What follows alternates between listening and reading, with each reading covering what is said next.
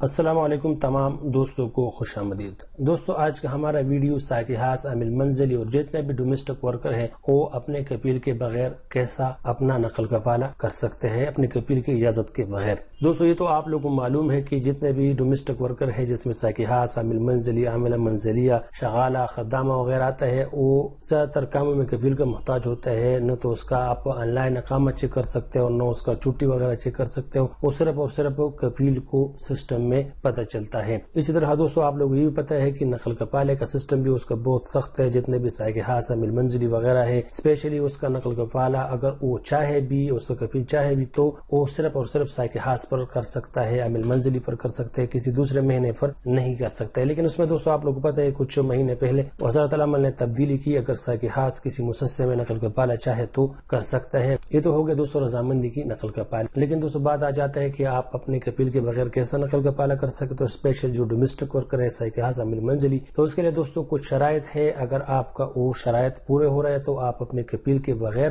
جب چاہے دوسرے کپیل کو کسی بھی مہینے پر نقل کپالہ کر سکتے ہو۔ جس میں دوستوں یہ آپ لوگ دیکھ سکتے ہو، میں آپ لوگ کو یہ پیپر دکھا رہا ہوں۔ یہ دوستو آپ لوگ دیکھ سکتے ہو، یہ وزارت العمل بتا رہے کہ آپ سات حالات میں دوسرے کپیل کو نقل کپالہ کر سکتے ہو۔ جو ڈومیسٹک ورکر ہے وہ مرا منزلیہ ہے جس میں دوستو پہلا شرط یہ ہے کہ آپ کو کپیل نے تین مہینے کا تنخواہ نہیں دیا، ایک ساتھ نہیں دیا یا وقفے وقفے سے نہیں دیا، اس نے آپ کو تین مہینے کا تنخواہ رکھا ہے۔ تو اس حالت میں آپ اپنا نقل کفالہ کر سکتے ہو، کیونکہ سسٹم میں وزارت عمل کو معلوم ہوتا ہے کہ آپ کی کپیل نے آپ کو تنخواہ تنخواہ دیا ہے یا نہیں دیا، کیونکہ وہ بینک کے ذریعے آپ کو پے کرتا ہے۔ اسی طرح دوستو، یہ تو پہلا شرط ہو گیا تنخواہ کی تاخیر کا تین مہینے کا۔ اس میں دوستو، دوسرا شرط جو ہے، وہ اگر کسی نے اپنے عملہ منزلیہ کو بلایا، ایسا کہ ہاس کو عمل منزلیہ کو، عامل کو، کسی کو بلایا اور وہ ایئرپورٹ پر رہا، اس کو ریسیو نہیں کیا، جو اس کا سنٹر ہے، جو عملہ منزلیہ کے لیے اس میں پندرہ دن او رہی یا رہا، تو اس حالت میں بھی عامل منزلی جو ہے سائک ہاس جو ہے، عملہ منزلیہ جو ہے، وہ اپنا نقل گفارہ دوسرے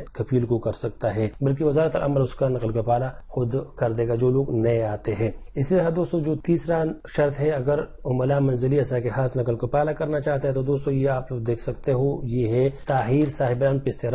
تصاریح الاقامہ۔ یعنی اگر کوئی نئے آدمی آیا ہے بالمنزلی وغیرہ، اس کا قبیل نے اقامہ نہیں بنایا۔ تین مہینے جو اس کا ویزا ہے، وہ ایکسپائر ہو چکا ہے۔ جو سعودی میں آنے کے لیے ہم استعمال کرتے ہیں، وہ ایکسپائر ہو چکا ہے۔ اقامہ نہیں بنایا تو اس حالت میں بھی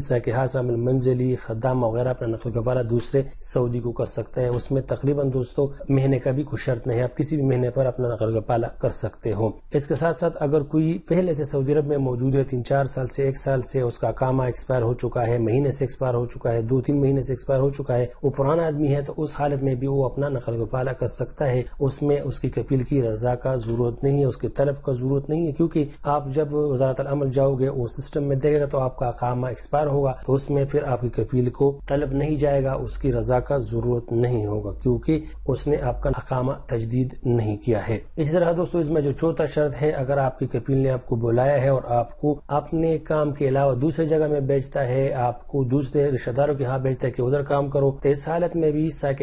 منزلی اپنا نقل کفالہ دوسرے جگہ میں کر سکتا ہے۔ اس کے علاوہ دوستو، جس میں پانچواں شرط ہے، اگر کپیل اپنے عامل پر ظلم کرتا ہے، اس کو مارتا پیٹتا ہے، اس کے ساتھ بدتمیزی کرتا ہے، تو اس حالت میں بھی ساکحاس عامل منزلی اپنا نقل کفالہ دوسرے جگہ میں کر سکتا ہے۔ اسی طرح دوستو، جس میں ایک اور شرط ہے کپیل کی رضا کے بغیر نقل کفالہ ساکحاس عامل منزلی کے لیے وہ ہے جس کام کے لیے آپ کو بلایا گیا، اس کام کے علاوہ آپ سے دوسرا کام لیا جا رہا ہے جو آپ کے مہینے کے مطابق نہیں ہے، تو اس حالت میں بھی سائکحاس منزلی اپنا نقل کفالہ کر سکتا ہے۔ یہ تو دوستو شرائط ہو گئے جس کی وجہ سے سائکحاس منزلی اپنا نقل کفالہ کفیل کی رضا کے بغیر کر سکتا ہے۔ لیکن دوستو، ادھر میں آپ لوگ ایک بات کروں گا، تمباکو نوشی صحت کے لیے مضر ہے۔ وہی بات ہوگا کہ آپ اگر ہو سکے اپنے کپیل کے ساتھ اس کے متعلق بات کرے، اگر اس نے آپ کو تنخواہ نہیں دیا، ہو سکتا ہے اس کے ساتھ پیسے نہیں ہو یا اس نے آپ کا کام رینیو نہیں کیا، اس میں کچھ مسئلہ ہوگا، تو آپ اس سے پہلے تاکید کرے اگر وہ نہیں کرنا چاہتے، واقعی وہ نہیں کرنا چاہتا تو اس کے بعد پھر آپ اپنے نقل کا پالے کے لیے دوسرے کپیل کے ساتھ رابطہ کرے اور اپنا نقل کا پالا کرے اگر مسئلہ کسی وجہ سے رکھا ہوا ہے، تو پھر آپ لوگ کوشش کرے کہ اپنے کپیل کے ساتھ ٹائم گزارے امید ہے دوستو، ویڈیو آپ لوگ کو پسند آئی ہوگی۔ اس ویڈیو کو لائک بھی کرے شیئر بھی کرے میرے چینل کو بھی سبسکرائب کرے